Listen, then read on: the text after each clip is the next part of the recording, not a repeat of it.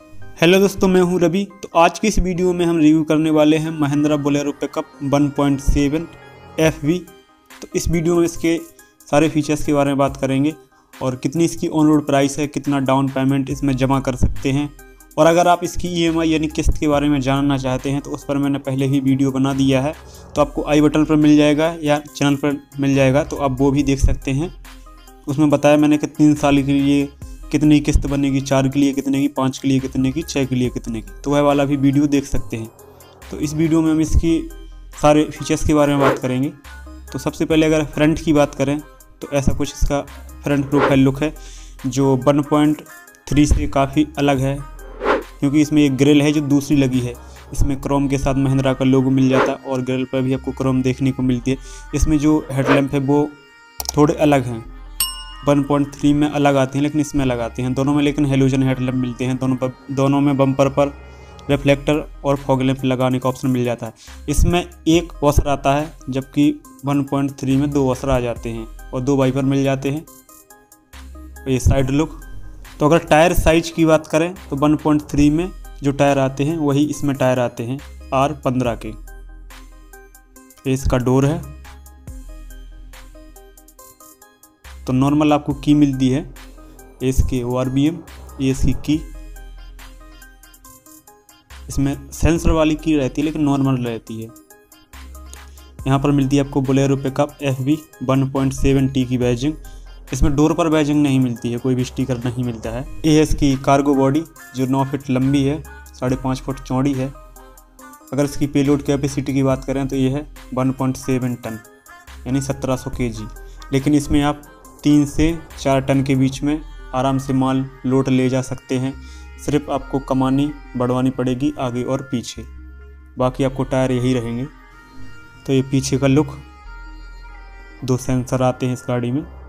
साठ लीटर का fuel tank मिलता है इसमें, जो तीन लीटर ज़्यादा है। 1.3 से 1.3 में आपको संतावन लीटर का मिलता है। बाकी यहाँ पर काफ़ी मज़बूत चेचेस मिल जाती है इसमें। और आपको दोनों चीज़ें मिलती हैं इसमें, कमानी और सॉकर भी, जिससे वज़न ढोने के लिए काफ़ी अच्छी है गाड़ी। तो ये आप अंदर से देख ही सकते हैं। कुछ ऐसी लगती है गाड़ी देखने पर। तो ऐसा कुछ है, अंदर से काफ़ी अच्छी फिटिंग की गई है। हालाँकि आपको वज़न वज़न ज़्यादा लोड करने के लिए इसमें कमानी बढ़वानी पड़ेगी। तो रियर में टेल लैम्प नंबर प्लेट, दो सेंसर, यहाँ पर महिंद्रा की बैजिंग। तो यह है इसकी कार्गो बॉडी सिर्फ़ आपको 1.3 से इसकी लंबाई ज़्यादा मिलती है। और बाकी सेम है। इसका स्पेयर व्हील सेम साइज़ का स्पेयर व्हील भी मिलता है इसमें। तो गाड़ी पीछे से सेम लगती है। यहाँ पर आपको स्टिकर इस साइड भी मिल जाता है। अगर इसकी ऑन रोड प्राइस की बात करें तो इसकी ऑन रोड प्राइस है नौ लाख पैंतालीस हज़ार रुपये। डाउन पेमेंट है इसका डेढ़ से दो के बीच में। अगर आप किस्त के बारे में जानना चाहते हैं तो उस पर मैंने वीडियो बना दिया है तो वह भी देख सकते हैं। चैनल पर डला है, या तो आपको आई बटन पर मिल जाएगा। बाकी यहाँ पर डोर पर स्टिकर नहीं मिलते हैं इसमें, साइड में मिल जाते हैं, बोले Bolero pickup F V one point seven की। यहाँ पर इंडिकेटर, फेंडर पर। इसका जो बॉनेट है, जो काफ़ी हल्का आता है, वन पॉइंट थ्री से।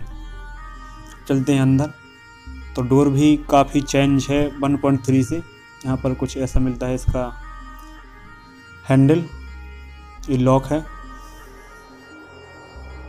ये हैंड ब्रेक, ये चढ़ने के लिए। और बाकी अगर सीट की बात करें तो सीट काफ़ी अच्छी मिलती हैं इसमें। हालाँकि दोनों में फैब्रिक की सीट आती हैं 1.3 में भी और 1.7 में भी। लेकिन इसमें आपको हेड रेस्ट मिल जाते हैं। और एक लंबी सीट मिलती है जिसमें आप तीन लोग आराम से बैठ सकते हैं। इसमें लेकिन पासिंग दो ही व्यक्ति हैं, ड्राइवर और पैसेंजर एक। लेकिन सीट आपको लंबी मिल जाती है इसमें तीन लोग आराम से बैठ सकते हैं आप लोग। तो यहाँ पर आपको लाइट लेवलिंग का कंट्रोल और रीजन बटन दिया गया है, यहाँ कुछ स्पेस मिल जाती है। बाकी यहाँ पर ये पैडल।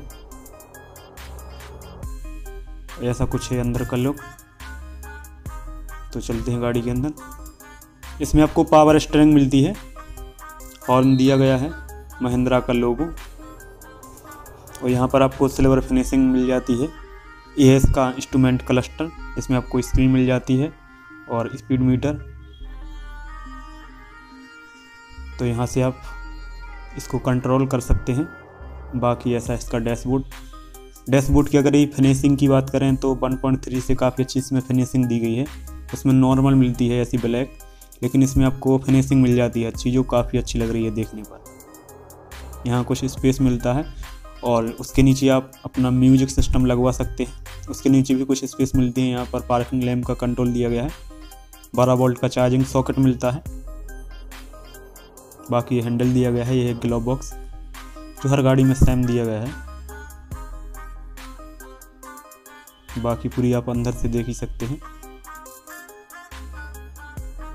ये सनवाइजर सनवाइजर पर आपको मिरर मिल जाता है।